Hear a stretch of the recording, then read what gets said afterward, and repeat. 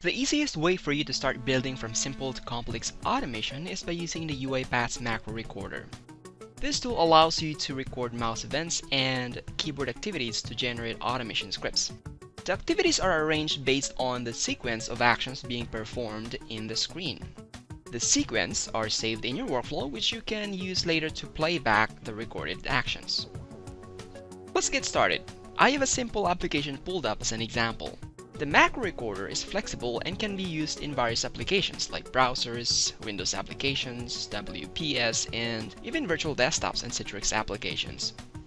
In the Design tab, let's click on the Record button.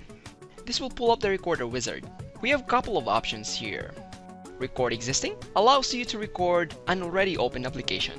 You can use Record Web to record actions on your web browser, like Internet Explorer, Firefox, and Chrome. Record App allows you to specify an application to pull up and record actions to it. The rest of the items on the right are pieces of actions you can use to perform manual recordings. Since we already have our app opened, we can use Record Existing as I move my mouse over to this application, it automatically detects each element in the application, meaning an activity can be performed on the element being highlighted. This makes it much more reliable for UiPath to perform the automation.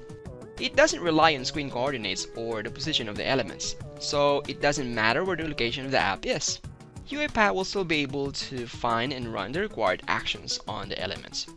The macro recorder can perform some basic actions like single mouse click, selecting a checkbox, selecting a radio button, selecting an item from a drop-down, typing a text, or inserting a keyboard key. There are some few limitations in the automatic recorder.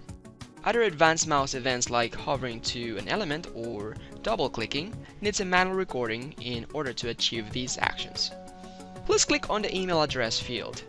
This will pull up this pop-up dialog where you can type in a custom text. You can also insert a keyboard command through this dialog box. Let's type in a sample email address. Down at the bottom, we have an option to empty the field before entering the text. Let's check the box. The type password checkbox allows you to hide the characters you are typing. This is useful if you are typing a sensitive information like password. Please press enter. Now, let's click the Create Expense Report button.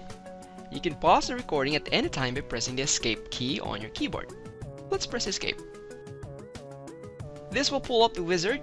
You can either stop and save the recording by clicking the Save and Close button or continue with the recording by clicking the Record Existing again. For now, what I want to do is to get a text value of the total expense.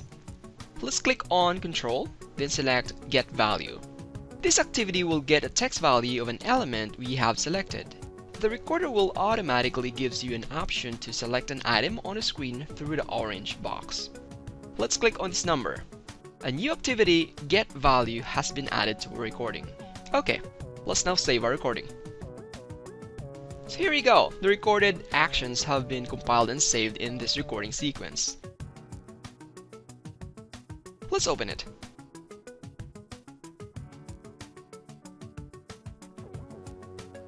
Our automation starts by attaching the Expense IT application. That means it activated the application so further actions can be recorded in it. Next, we have a type into activity, which enters the email address in the email field, followed by a click activity on the Create Expense button. Each recorded action generates an equivalent activity in a sequence and it's completely editable by changing its properties, variables, and current values. Another attached activity has been added to recognize the new window. Here's the get value activity that scraped the text value from the application. You can always add or modify any activity in this sequence. Let's test our automation by adding a write line activity. This activity, just like most programming tools, allows you to view the output of your automation in the output panel. Then we can just copy the output variable of the get value activity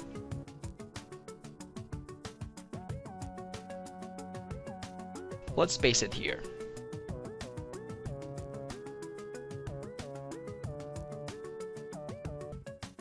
test the automation, let's go to the um, Execute tab and click Start Debug.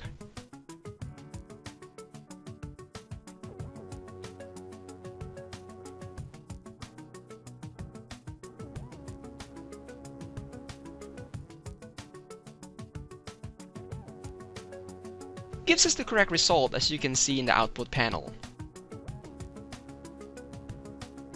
The macro recording also works with other type of applications like .NET and Java applications, as well as Citrix and web applications.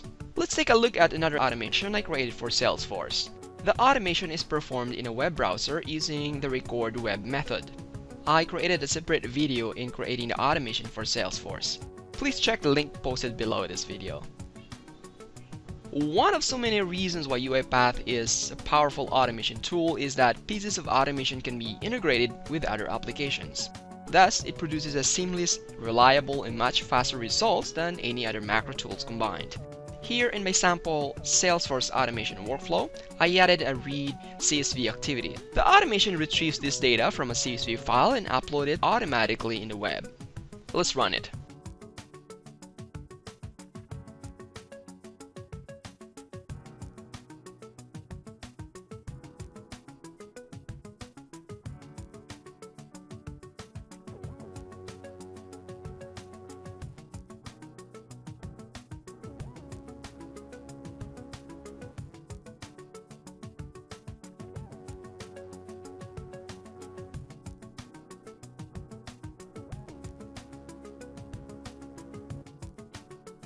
There you have it. UiPath's Macro Recorder brings a new level of recording automation.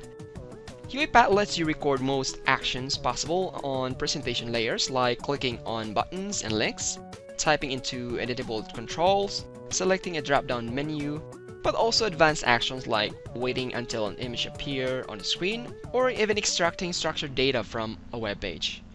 Thank you for watching. See you in the next video.